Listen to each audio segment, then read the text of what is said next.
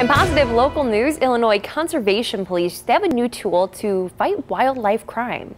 Budgets are tight for everybody and we all have to pinch our pennies. These guys were able to afford us something that was just super nice above and beyond to what we could probably get. Stephenson County Crime Stop donated the UTV to the Conservation Police.